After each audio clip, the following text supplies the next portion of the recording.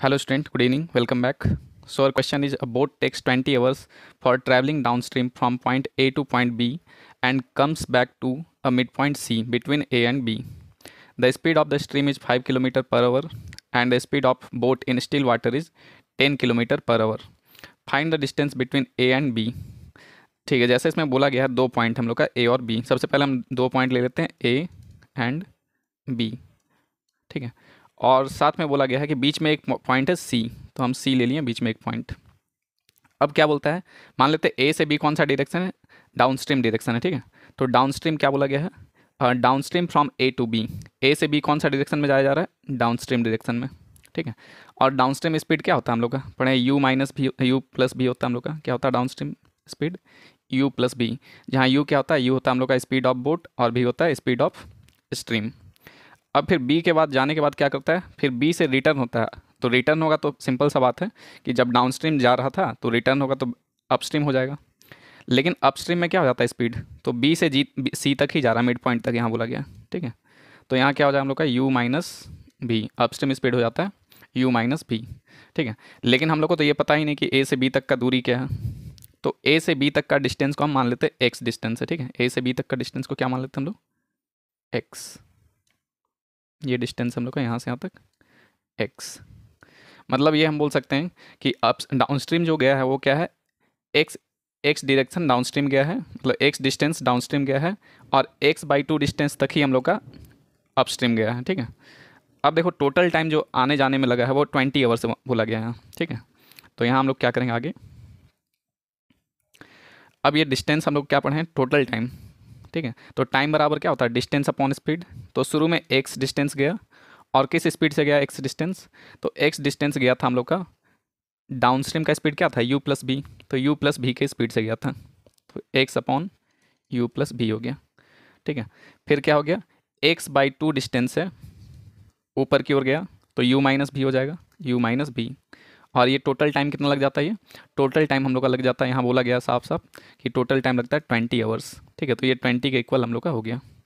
अब देखो यू और भी का यहाँ वैल्यू दिया हुआ है क्वेश्चन में ही। यू मतलब क्या हो गया हम लोग का? यू मतलब स्पीड ऑफ़ बोट तो इस यू की जगह टेन डालेंगे और भी की जगह फाइव पुट करेंगे हम लोग। ठीक है? तो यू की जगह टेन और भी की जगह फाइव ये क्वेश्चन में ही दिया हुआ है। तो एक्स अपॉन यू की जगह टेन तो टेन प्लस फाइव क्या हो जाएगा? फिफ्टीन ठीक है? इतना फार्मूला लिखना नहीं है, लेकिन हम लिख दिए हैं क्योंकि समझाना है। ठीक है। और इधर क्या है? एक्स बाई टू और यहाँ क्या हो जाएगा हम लोग का? u माइनस बी तो u माइनस बी में क्या हो जाएगा? टेन माइनस फाइव तो टेन माइनस फाइव फाइव आ गया। इज़ इक्वल टू ट्वेंटी ठीक है। अब यहाँ नीचे एलसीएम क्या आ जाएगा? फाइव और फिफ्टीन का। तो फाइव और फिफ्टीन का एलसीएम फिफ्टीन आ गया। फिफ्टीन वन जब फिफ्टीन तो एक्स आ गया। फाइव थ्री जब फिफ्टीन अच्छा यहाँ ये टू भी है ना? तो इस टू को यहाँ हम लोग ले लेते हैं एक सेकेंड पहले इसको थोड़ा सा इरेज कर लेते हैं। टू को पहले ही ले लेते हैं। टू ये जो टू था, इसको इधर लेंगे तो क्या होगा? टेन आ जाएगा। नीचे क्या आ जाएगा हम लोग का? टेन आ जाएगा। ठीक है तो एलसीएम ले लेते हैं हम लोग। क्या जाता है? फिफ्टीन और टेन का एलसीएम? थर्टी। फिफ्टीन टू या थर्टी तो एक्स इंटू टू क्या हो जाएगा? Two X. टेन थ्री या थर्टी तो ये क्या आ जाएगा हम लोग का? Three X is equal to twenty. ये आ गया हम लोग का। ठीक है, फिर आगे अगर जैसे देखें हम लोग तो आगे क्या आ जाएगा हम लोग का? Five X upon thirty is equal to twenty. ठीक है, फाइव से थर्टी कटा सिक्स टाइम्स में। तो एक्स इज़ इक्वल टू क्या जा रहा है हम लोग का? ट्वेंटी इंटू सिक्स जो कि वन ट्वेंटी आ गया, ठीक है? अब इसमें यूनिट क्या लिखें?